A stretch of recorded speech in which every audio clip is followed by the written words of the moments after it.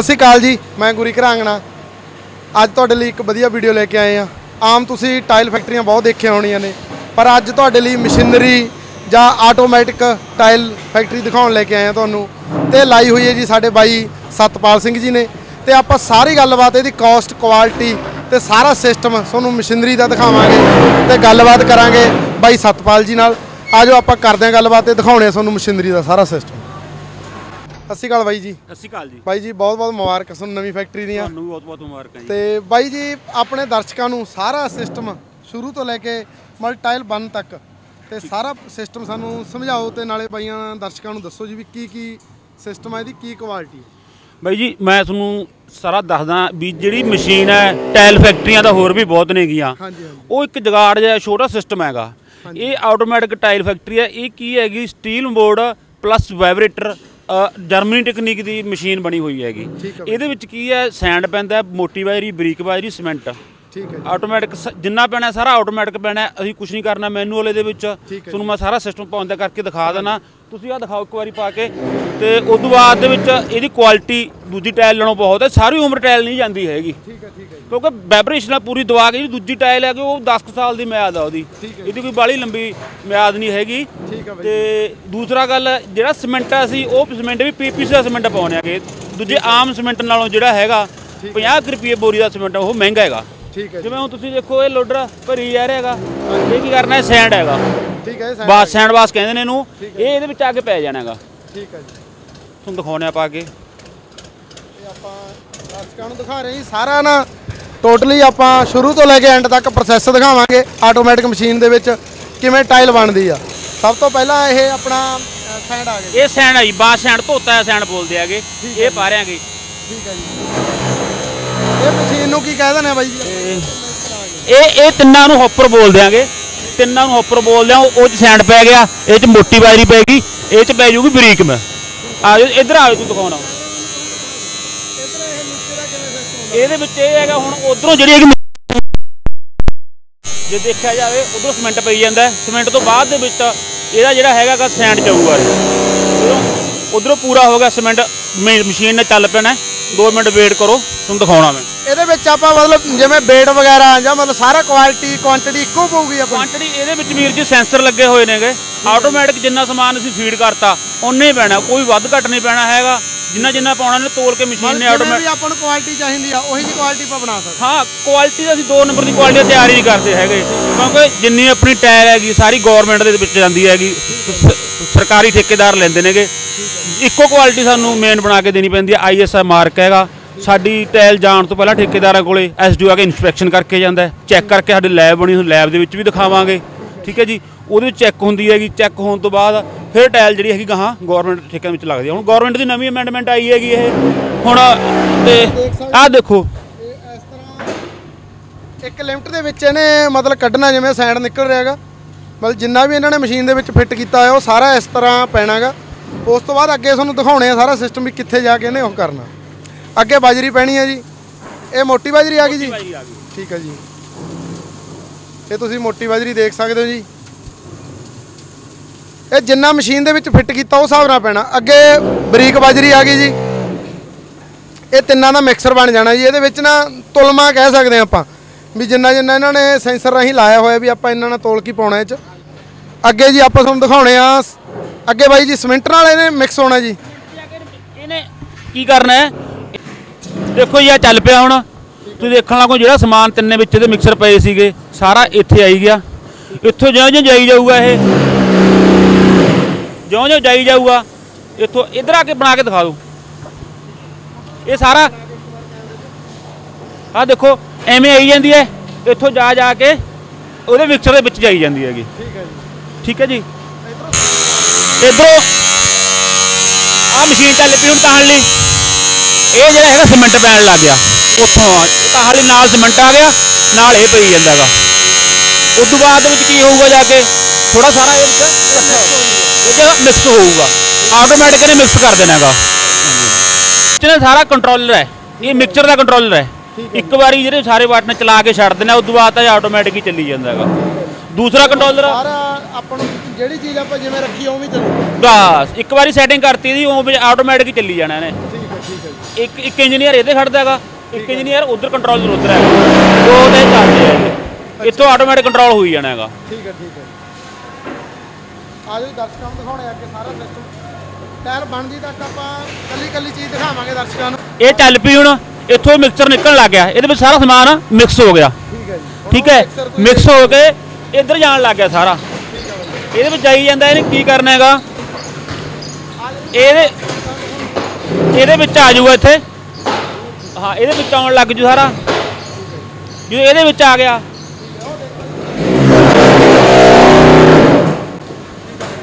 ਫਿਰ ਉੱਥੋਂ ਆ ਕੇ ਜਿਹੜਾ ਹੈਗਾ ਉੱਥੋਂ ਆ ਕੇ ਇਧਰ ਨਾ ਜਿਹੜਾ ਹੈਗਾ ਹੈਗਾ ਇਹਦੇ ਵਿੱਚ ਆਈ ਜਾਂਦਾ ਹੈਗਾ।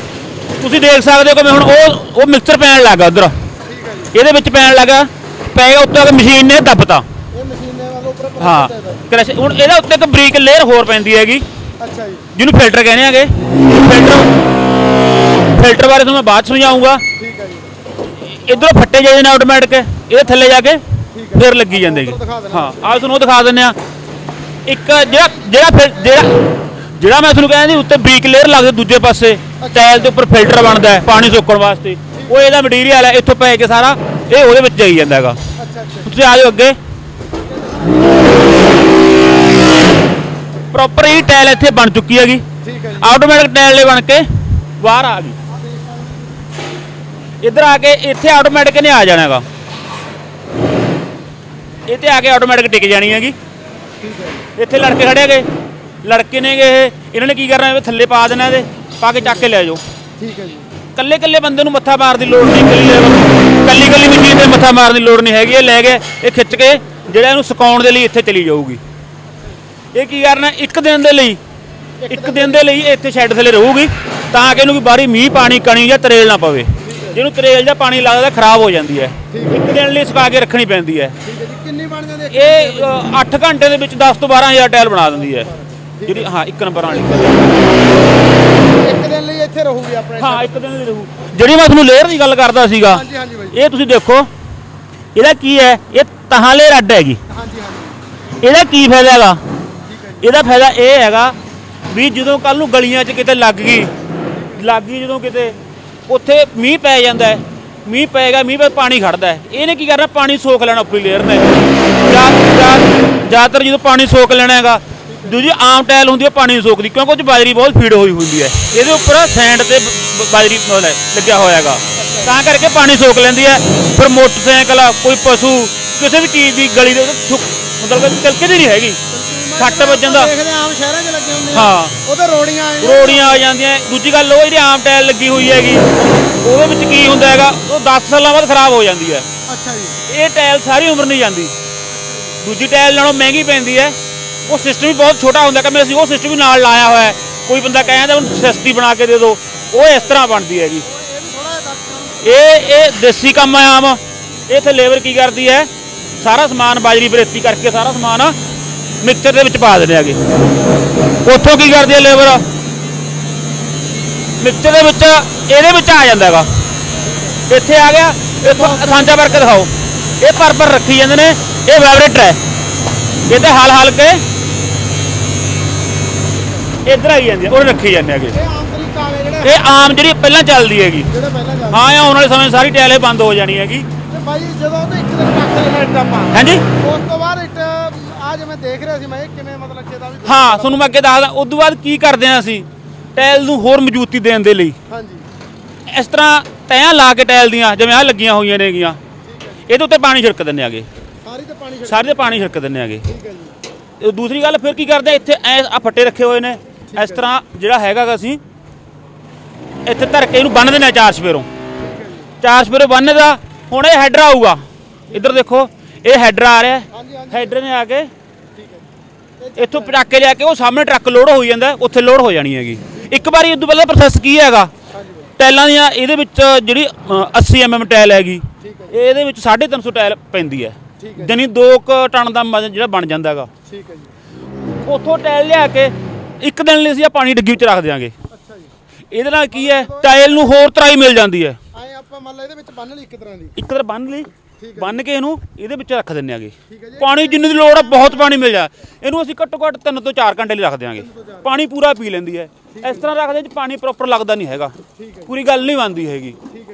ਐਂ ਕਰਕੇ ਅਸੀਂ ਪੂਰੀ ਜ਼ਿਆਦਾ ਮਜ਼ਬੂਤੀ ਦੇਣ ਲਈ ਇਸ ਤਰ੍ਹਾਂ ਕਰਦੇ ਆ ਇੱਥੋਂ ਕੱਢ ਕੇ ਦੁਬਾਰਾ ਫੇਰ ਸੁਕਾਉਣੇ ਆ ਕਿਵੇਂ ਆ? ਬੰਡਲ ਬੰਨੇ ਪਏ ਨੇਗੇ। ਫਿਰ ਸੁੱਕਦੇ ਨੇ ਇਹ। ਸਕਦੇ ਜੀ। ਆ ਸੁੱਕੇ ਹੋਏ ਆ ਗਏ ਜੀ। ਠੀਕ ਹੈ ਜੀ। ਇਹ ਸੁੱਕਣ ਤੋਂ ਬਾਅਦ ਇੱਥੇ ਜਾ ਜਾ ਕੇ ਫਿਰ ਉਹ ਟਰਾਲਾ ਸਾਹਮਣੇ ਲੋਡ ਤੁਸੀਂ ਦੇਖ ਹੀ ਲਿਆ। ਟਰਾਲਾ ਲੋਡ ਹੋਈ ਜਾਂਦਾ ਹੈਗਾ। ਬਾਈ ਇਹਦੀ ਕੁਆਲਿਟੀ ਜਿਵੇਂ ਆਪਾਂ ਆਮ ਟਾਈਲਾਂ ਫੈਕਟਰੀਆਂ ਆਪਾਂ ਬਹੁਤ ਦੇਖੀਆਂ ਨੇ ਮੈਂ ਤੇ ਪਰ ਇਹਦੀ ਕੁਆਲਿਟੀ ਦਾ ਵੀ ਕੋਈ ਹੈਗਾ ਤੁਸੀਂ ਰੱਖਿਆ ਪ੍ਰੋਸੈਸ ਵੀ ਚੈੱਕ ਕਰਦੇ ਹੋ? ਕੁਆਲਿਟੀ ਸਾਡੇ ਕੋਲ ਬਕਾਇਦਾ ਲੈਬ ਬਣੀ ਹੋਈ ਹੈਗੀ। ਠੀਕ ਹੈ ਜੀ। ਉਹ ਵੀ ਪਹਿਲਾਂ ਟਾਇਲ ਬਣਾਉਣ ਤੋਂ ਬਾਅਦ ਅਸੀਂ ਪਹਿਲਾਂ ਤਾਂ ਆਪ ਚੈੱਕ ਕਰਦੇ ਆਂਗੇ। ਜਦੋਂ ਗਵਰਨਮੈਂਟ ਦੇ ਕਿਸੇ ਠੇਕੇਦਾਰ ਕੋਲੇ ਜਾਂਦੀ ਹੈ ਤਾਂ ਉਹਨਾਂ ਦਾ ਗਵਰਨਮੈਂਟ ਦਾ ਅਧਿਕਾਰੀ ਕੋਈ ਐਸਡੀਓ ਹੋਰ ਆ ਕੇ ਸਾਡੀ ਲੈਬ ਦੇ ਵਿੱਚ ਆ ਕੇ ਇਨਸਪੈਕਸ਼ਨ ਕਰਕੇ ਜਾਂਦਾ ਟਾਇਲ ਨੂੰ ਚੈੱਕ ਕਰਕੇ ਵੀ ਕਿੰਨੇ ਟਾਈਮ 'ਚ ਕੀ ਫੁੱਟਦੀ ਹੈ ਕਿਵੇਂ ਸਾਰਾ ਸਿਸਟਮ ਤੁਹਾਨੂੰ ਮੈਂ ਉਹ ਵੀ ਦਿਖਾ ਦੂੰਗਾ। ਠੀਕ ਹੈ ਜੀ। ਤੇ ਉਹ ਸਾਰਾ ਚੈੱਕ ਕਰ ਪਾਸ ਹੋਣ ਤੋਂ ਬਾਅਦ ਹੀ ਫਿਰ ਗਵਰਨਮੈਂਟ ਕੋਲ ਸਾਡੀ ਟਾਇਲ ਜਾਂਦੀ ਹੈਗੀ। ਠੀਕ ਹੈ ਇਹ mould with vibrator Germany technology Germany technology the machine ਹੈਗੀ। ਪੂਰੇ ਪੰਜਾਬ ਦੇ ਵਿੱਚ ਦੋ ਤਿੰਨ ਗੀਟਾ ਮਸ਼ੀਨਾਂ ਲੱਗੀਆਂ ਹੋਈਆਂ ਨੇ ਜ਼ਿਆਦਾ ਨਹੀਂ ਹੈਗੀਆਂ ਕਿਉਂਕਿ ਕੋਸਟਲੀ ਦੂਸਰੀ ਫੈਕਟਰੀ ਤੇ ਬਾਈ ਜੀ 50000 ਰੁਪਏ ਦਾ ਕੰਮ ਸਸਤਾ ਬਹੁਤ ਹੈ। ਇਹ ਪ੍ਰੋਜੈਕਟ ਥੋੜਾ ਜਿਹਾ ਮਹਿੰਗਾ ਹੈਗਾ। ਇਹ ਪ੍ਰੋਜੈਕਟ ਹਾਂਜੀ ਇਹਦੇ ਵਿੱਚ। ਇਹਦੇ ਨਾਲ ਅਸੀਂ ਬਲੌਕ ਵੀ ਬਣਾ ਸਕਦੇ ਹਾਂ ਕਿ ਮੈਂ ਇੱਟ ਬਣਾਈ ਪਈ ਐ ਅਸੀਂ ਇੱਟ ਵੀ ਬਣਾ ਸਕਦੇ ਤੁਹਾਨੂੰ ਦਿਖਾਵਾਂ। ਥੋੜਾ ਹੁਣ ਅੱਜ ਕੱਲ ਨਵੇਂ ਅੱਜ ਆਪਣੇ ਦਾ ਕਰੇਜ਼ ਘੱਟ ਹੈਗਾ। ਚੰਡੀਗੜ੍ਹ ਤੁਸੀਂ ਜਾਓਗੇ ਉਧਰ ਬਲੌਕ ਲੱਗਣ ਲੱਗ ਇੱਟਾਂ ਬਣਨ ਲੱਗ ਗਈਆਂ ਇਹਦੀਆਂ। ਕਿਵੇਂ ਹੁਣ ਤੁਸੀਂ ਆਹ ਦਫ਼ਤਰ ਬਣਾਉਣਾ ਆਪਦਾ? ਇਹ ਆਮ ਇੱਟ ਬਣਾ ਕੇ ਅਸੀਂ ਆ ਦੇਖ ਸਕਦੇ ਆਮ ਇੱਟ ਦਾ ਬਣਾ ਕੇ ਆਮ ਇੱਟ ਬਣੀ ਹੋਈ ਹੈ ਇਹ। ਠੀਕ ਹੈ ਜੀ। ਆਮ ਇੱਟ ਬਣੀ ਹੋਈ ਹੈ। ਆ ਬਣਾ ਕੇ ਦੇਖਿਆ ਦੇਖੋ ਕਿੰਨੀ ਸਫ਼ਾਈ ਆਉਂਦੀ ਹੈ। ਹਾਂਜੀ ਹਾਂਜੀ। ਇਹਦੇ ਤੁਸੀਂ ਪਲਾਸਟਰ ਕਰਨ ਦੀ ਵੀ ਲੋੜ ਨਹੀਂ। ਠੀਕ ਹੈ ਜੀ। ਸਿੱਧਾ ਰੰਗ ਮਾਰ ਕੇ ਦਫ਼ਤਰਾਂ ਵਿੱਚ ਸ਼ੋਅ ਕਰ ਸਕਦੇ ਹੋ। ਖਰਚਾ ਬੜਾ ਘੱਟ ਉਧਰ ਸਾਰੇ ਬਣਾ ਬਣਾ ਰੱਖੀਆਂ ਪਈਆਂ ਨੇ ਇਹ ਵੀ। ਪਰ ਆਪਣੇ ਥੋੜਾ ਕਰੇਜ਼ ਘੱਟ ਹੈ ਇਹਦਾ। ਕਰੇਜ਼ ਘੱਟ ਹੈ ਚੰਡੀਗੜ੍ਹ ਜ਼ਿਆਦਾ ਕਰੇਜ਼ ਚੱਲਦਾ ਇਹਦਾ। ਠੀਕ ਹੈ ਜੀ। ਆ ਦੇਖੋ ਇਹ ਟਾਈਲਾਂ ਇਹਦੀ ਇਹ- ਇਹਦੇ ਨਾਲ ਹੋਰ ਹੈ। ਜੇਕਰ ਕਿਸੇ ਬੰਦੇ ਨੇ ਕੋਠੀ ਪਾਉਣੀ ਹੈ ਜੇਕਰ ਤੁਹਾਨੂੰ ਵਹਿਮ ਕਰ ਦਿਓਗੇ ਵੀ ਅਸੀਂ ਉੱਪਰ ਨਹੀਂ ਲਾਉਣੀ ਤਾਂ ਉਹਨੂੰ ਨਿਉਂ ਚ ਲਾ ਸਕਦੇ ਹੋ। ਨਿਉਂ ਚ ਲਾਉਣ ਦਾ ਮਤਲਬ ਕੀ ਹੈ ਵੀ ਸਲਾਬ ਸੋਰਾ ਕੁਝ ਵੀ ਨਹੀਂ ਆਉਂਦਾ ਨਾ ਇਹ ਗਲੇ ਸਾਰੀ ਉਮਰ। ਕਿਉਂਕਿ ਇਹ ਚ ਬਰੇਤੀ ਤਾਂ ਹੈ ਹੀ ਨਹੀਂ। ਮਤਲਬ ਜਿਵੇਂ ਆਪਣੇ ਸ਼ੋਰੇ ਦੀ ਬਹੁਤ ਪ੍ਰੋਬਲਮ ਹੈ ਸ਼ੋਰ ਦੀ ਇਹਦੇ ਚ ਬਰੇਤੀ ਨਹੀਂ ਹੈਗੀ ਸੀਮੈਂਟ ਹੈ ਸੈਂਡ ਹੈ ਬਰੀਕ ਬਾਜਰੀ ਤੇ ਮੋਟੀ ਬਾਜਰੀ ਹੈ। ਪਾਣੀ ਬਹੁਤ ਪ੍ਰੈਸ਼ਰ ਨਾਲ ਬਣੀ ਹੋਈ ਹੈ ਤੁਸੀਂ ਦੇਖ ਦੇਖੀਏ ਮਸ਼ੀਨ ਕਿੰਨਾ ਖੜਕਾ ਕਰਦੀ ਹੈ ਕਿੰਨੀ ਜ਼ਬਰਦਸਤ। ਮੂਰਤੀ ਦਾ ਆਪਾਂ ਲੈਬ 'ਚ ਵੀ ਦਿਖਾਵਾਂਗੇ ਦਰਸ਼ਕਾਂ ਨੂੰ। ਤੁਹਾਨੂੰ ਇਹ ਵੀ ਚੈੱਕ ਕਰਵਾ ਕੇ ਦਿਖਾਉਣੇ ਆਗੇ। ਜਿਹੜੀ ਆਹ ਟਾਇਲ ਸਾਡੀ ਦੂਜੀ ਨਾਰਮਲੀ ਬਣੀ ਹੋਈ ਹੈਗੀ। ਇਹ ਆਪਣੀ ਮਤਲਬ ਜਿਹੜੀ ਜਿਹੜੀ ਮੈਨੂਅਲ ਮੈਨੂਅਲ ਬੋਲਦੇ ਆਗੇ। ਹੈ। ਸਿੰਪਲ ਬਣਾ ਕੇ ਵੀ ਬਣਾ ਕੇ ਰੱਖੀ ਹੋਈ ਆ ਕੁਝ ਲੋਕ ਘੱਟ ਰੁਪਏ ਲਾਉਣ ਨੂੰ ਕਹਿੰਦੇ ਆ, ਸਸਤੀ ਵਾਸਤੇ ਆ ਬਣਾ ਕੇ ਦੇ ਦਿੰਦੇ ਆ। ਪਰ ਮੇਰੀ ਰਾਏ ਆ ਵੀ ਇਹ ਟਾਇਲ ਨਾ ਲਾਓ। ਕਿਉਂਕਿ ਇਹਦੀ ਲਾਈਫ 10 ਸਾਲ ਹੈ। ਠੀਕ ਹੈ ਜੀ। ਉਹ ਸਾਰੀ ਉਮਰ ਨਹੀਂ ਜਾਂਦੀ। ਉਹ ਸਾਰੀ ਉਮਰ ਨਹੀਂ ਜਾਂਦੀ ਇੱਕ ਵਾਰੀ ਲੱਗ ਗਈ। ਠੀਕ ਹੈ ਜੀ। ਤੇ ਠੀਕ ਹੈ ਰੇਟ ਦਾ ਜੋ ਜ਼ਰੂਰ 2-3 ਰੁਪਈਆਂ ਦਾ ਫ਼ਰਕ ਹੈਗਾ। ਠੀਕ ਹੈ ਜੀ। ਕੀ ਐਵਰੇਜ ਰੇਟ ਕੀ ਪੈ ਜਾਂਦਾ ਬਾਈ ਜੀ? ਮਤਲਬ ਜਿਵੇਂ 60 ਐਵਰੇਜ 60 mm ਜਿਹੜੀ ਹੈਗੀ 12 ਰੁਪਏ ਪਲੱਸ GST ਹੈ। ਠੀਕ ਹੈ ਜੀ। ਜਿਹੜੀ ਅ, 80 mm ਹੈਗੀ ਉਹ 13 ਰੁਪਏ ਪਲੱਸ GST ਹੈ। ਠੀਕ ਹੈ ਜੀ। ਇਹ ਜਿਵੇਂ ਆਪਾਂ ਐਵਰੇਜ ਮਤਲਬ ਕੋਈ ਘਰੇ ਲਾਉਣਾ ਚਾਹੁੰਦਾ ਹਾਂਜੀ। ਵੀ 40 mm ਆ ਗਈ 60 mm ਆ ਗਈ 80 mm ਆ ਗਈ। 80 mm ਕਿੱਥੇ ਕੰਮ ਕਰਦੀ ਹੈ? 40 ਕਿੱਥੇ ਕਰਦੀ 60 ਕਿੱਥੇ ਦੇਖੋ ਤੁਸੀਂ 60 ਲਾ ਸਕਦੇ ਹੋ 80 ਲਾ ਸਕਦੇ ਹੋਗੇ। ਇਹਦਾ ਕੋਈ ਬੜਾ ਵੱਡਾ ਨਹੀਂ ਮੈਟਰ ਹੈਗਾ। ਕਿਉਂਕਿ ਵੀ ਜਿਹੀ 60 mm ਥਾਂ ਘੱਟ ਰੋਕਦੀ ਹੈਗੀ 80 mm ਜ਼ਿਆਦਾ ਕਵਰ ਕਰਦੀ ਹੈ ਜਗ੍ਹਾ ਨੂੰ। ਉਹ ਇਹੋ ਜਿਹਾ ਰੇਟ ਦਾ ਡਿਫਰੈਂਸ ਹੈਗਾ। ਉਹੀ ਜਿਹਾ ਰੇਟ ਦਾ difference। ਹਾਂ ਇਹ 'ਚ ਕੋਈ ਬੋਲਾ ਨਹੀਂ ਐਟਵਰਡ ਕਿਉਂ ਪਹਿਲਾਂ ਜ਼ਿਆਦਾਤਰ ਅਸੀਂ ਆਮ ਲੋਕਾਂ ਨੂੰ ਨਹੀਂ ਵੇਚਦੇ ਹੈਗੇ। ਆਹ ਦੇਖੋ ਕਿਵੇਂ ਆ ਲੋਡਰ ਧਰੀ ਜਾਂਦਾ ਹੈਗਾ। ਉੱਥੇ ਚੱਕ ਕੇ ਲਿਆ ਕੇ ਧਰ ਦਿੰਦਾ ਹੈਗਾ। ਇਹਦੇ ਵਿੱਚ ਆਟੋਮੈਟਿਕ ਗੱਡੀ ਨਾ ਇਹਦਾ ਕਿਨਾਰਾ ਫੁੱਟੇ ਕੋਈ ਨਾ ਕਿ ਟਾਇਲ ਖਰਾਬ ਹੋਵੇ। ਜਿੱਥੇ ਦਿਖਾ ਵੀ ਰਿਹਾ ਇਸ ਤਰ੍ਹਾਂ ਲੋਡ ਹੋਈ ਜਾਂਦੀ ਹੈਗੀ। ਠੀਕ ਹੈ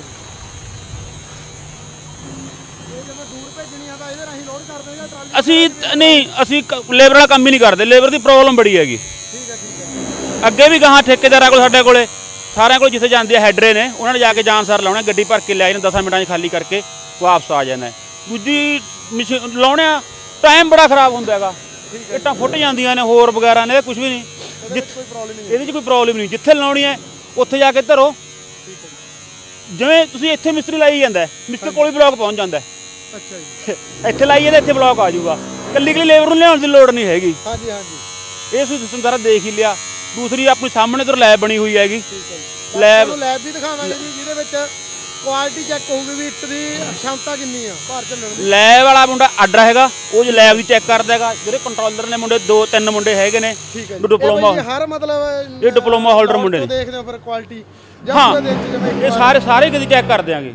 ਠੀਕ ਹੈ ਬਾਈ ਜੀ। ਸਾਰੇ। ਆਓ ਜੀ ਦਿਖਾਓ ਤੁਸੀਂ। ਲੈਬ ਸਾਰੀ ਲੈਬ ਹੈ।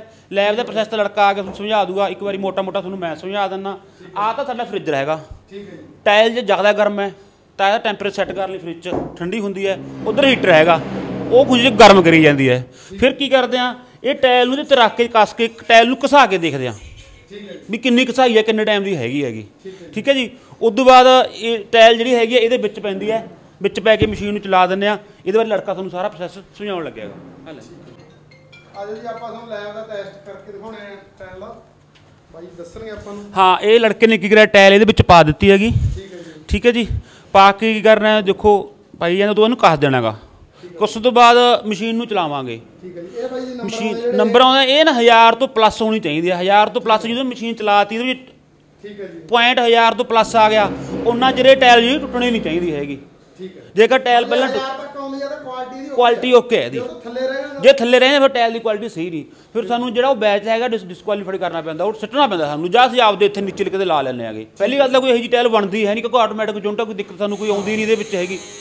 ਪਰ ਬਾਈ ਦੇ ਵਿੱਚ ਫਿਰ ਵੀ ਅਸੀਂ ਹਰੇਕ ਬੈਚ ਦੇ ਵਿੱਚੋਂ ਕੱਲੀ ਕੱਲੀ ਟਾਇਲ ਜਿਹੜੀ ਹੈਗਾ ਚੈੱਕ ਹੁੰਦੀ ਹੈਗੀ। ਇਹ ਦੇਖੋ ਇਹਦੇ ਪਾ ਕੇ ਕਾਸਤੀ ਵਿੱਚ ਪਾ ਕੇ ਕਾਸਤੀ ਜੀ ਕਰਾ ਰਹੇ ਆਪਾਂ ਇੱਥੇ ਟਾਇਲ ਦਾ। ਚਲਾਓ ਮਸ਼ੀਨ ਇਹ ਨੂੰ ਕਿੰਨੇ ਟਾਈਮ ਦਾ ਪ੍ਰੋਸੈਸ ਆ ਬਾਈ ਜੀ? ਇਹ ਟਾਈਮ ਦਾ ਮਿਨੀ ਸਿਸਟਮ ਹੁੰਦਾ ਹੈ ਆਟੋਮੈਟਿਕ ਰੁਕ ਜਾਣੀ ਹੈ। ਠੀਕ ਹੈ ਜੀ। ਆਟੋਮੈਟਿਕ ਆ ਸਾਰੀ ਇਹ। ਇਹ ਥੱਲੇ 2000 ਤੱਕ 1000 ਤੋਂ 2000 ਚਾਹੀਦੀ ਹੈਗੀ ਆ ਦੇਖੋ ਚੱਲ ਪੂ ਉਹਨਾਂ ਜਿਹੜੇ ਟਾਇਲ ਟੁੱਟਦੀ ਨਹੀਂ ਹੈਗੀ।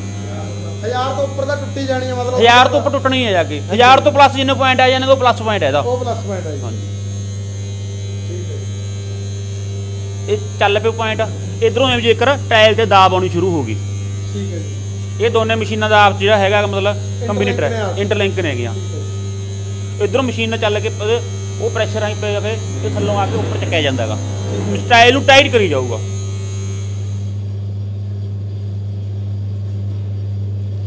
ਤੁਸੀਂ ਦੇਖ ਸਕਦੇ ਹੋ ਜੀ ਲਾਈਵ ਦਾ ਲੋਡ ਮੀਟਰ ਹੈ ਜਿਹੜਾ ਜੀ ਇਹ ਤੋਂ ਚੈੱਕ ਹੁੰਦੀ ਹੈ ਕਿ ਟਾਈਮ ਦੀ ਕੁਆਲਿਟੀ ਕਿੰਨਾ weight ਇਹ ਗੇਨ ਆਪਣਾ ਕਰ ਸਕਦੀ ਹੈ ਇਹ ਦੇਖੋ ਤੁਸੀਂ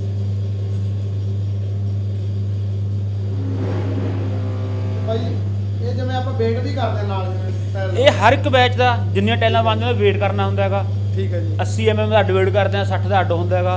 ਹਰ ਇੱਕ ਚੀਜ਼ ਦੀ ਕੱਲੀ ਕੱਲੀ ਚੀਜ਼ ਦੀ ਕੁਆਲਿਟੀ ਚੈੱਕ ਕੀਤੀ ਜਾਂਦੀ ਹੈ। ਆਮ ਟਾਇਲ ਵਾਲਾ ਕੰਮ ਨਹੀਂ ਹੈ। ਸਫ਼ਾਈ ਆ ਤੁਸੀਂ ਸਾਹਮਣੇ ਦੇਖ ਹੀ ਲਿਆ ਸਾਰਾ ਕੁਝ ਸਾਨੂੰ ਹੱਥ ਲਾਉਣ ਦੀ ਲੋੜ ਨਹੀਂ ਸਫ਼ਾਈ ਰੱਖਣੀ ਪੈਂਦੀ ਹੈਗੀ। ਜਦੋਂ ਸਾਰਾ ਕੁਝ ਸੇਮ ਹੈ ਹੂੰ। ਹਰ ਚੀਜ਼ ਦਾ ਹੂੰ। ਤਾਂ ਆਪਾਂ ਆਟੋਮੈਟਿਕ ਕੀ ਆ ਵੀ ਜਦੋਂ ਵੀ ਕਿਤੇ ਲਾਵਾਂਗੇ ਉੱਥੇ ਕੁਆਲਿਟੀ ਦਾ ਪਤਾ ਲੱਗਦਾ ਹੁਣ ਇਹ ਲੱਗੀ। ਦਾ। ਪਤਾ ਲੱਗਦਾ ਕੁਆਲਿਟੀ ਦਾ। ਆ ਦੇਖੋ ਦਾਵ ਆਈ ਇਹਨੇ ਪੂਰੀ। ਹਾਲੇ ਤੱਕ ਇਹਦਾ ਤਾਂ ਕੋਈ ਫ਼ਰਕ ਨਹੀਂ ਪਿਆ ਹੈਗਾ। ਠੀਕ ਹੈ ਜੀ। 6 700 ਤੱਕ ਵਗ ਗਈ। ਠੀਕ ਹੈ ਜੀ।